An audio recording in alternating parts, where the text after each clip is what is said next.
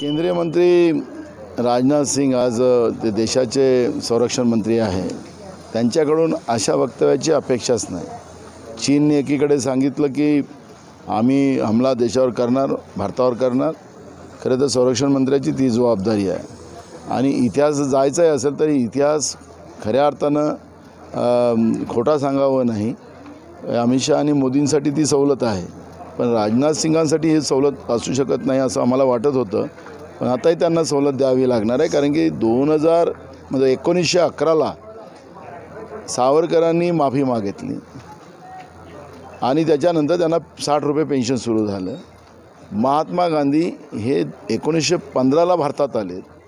त्यावेळेस मोबाईल नव्हते त्यावेळेस मेल नव्हते त्यावेळेस ह्या सगळ्या व्यवस्था नव्हत्या. आता महात्मा गांधी आणि सावरकरांचा कुठेही संपर्क आलाच नाही. अक दोन एकोणीसशे अकराला त्यांनी माफी मागितली. आता त्या काळामध्ये मोदींजवळ मोबाईल होता. त्या काळात त्यांच्याजवळ मेल होता ईमेल होता. त्यांच्याजवळ डिजिटल कॅमेरा होता त्या काळामध्ये. आता मोदीजींनी त्या काळामध्ये सावरकरांना आणि महात्मा गांधींना मोबाईल दिला असेल ते बोलले असतील तर हे काही आता स्पष्ट होत नाही. पण या पद्धतीचं खोटं सांगून महात्मा गांधी ते महात्माच आहेत.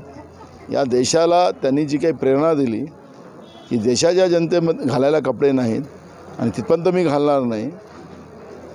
अशा पद्धतीची मानसिकता ठेवणारा महात्मा त्याला अशा पद्धतीचं बदनाम करण्याचं कृत्य जे बी जे पी सातत्यानं करत आहे या देशातले लोक ती गोष्ट आता मान्य करणार नाही. भाजपला त्याची जागा दाखवणार.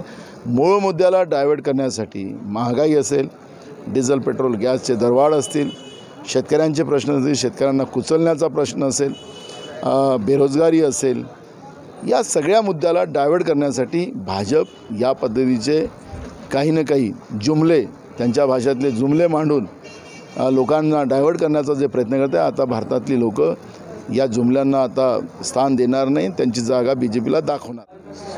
ब्लॅकमेलिंग आहे. हे हर्षवर्धन पाटलाच्या वक्त्यावरून आता सिद्ध झालेली आहे. मी भाजपमध्ये कशासाठी गेलो?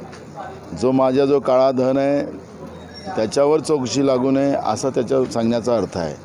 आणि म्हणून भाजपची जी नीती आहे की त्यांच्या पक्षात जे लोक आहेत ते गंगा नहालेले आहेत दुधानं नहालेले आहेत आणि विरोधकांमध्ये जे लोक आहेत ते सगळे भ्रष्टाचारी आहे ही जी त्यांची बी जे पीची वृत्ती आहे ती हर्षोदम पाटलांच्या या वक्त्यावरून स्पष्ट झाली.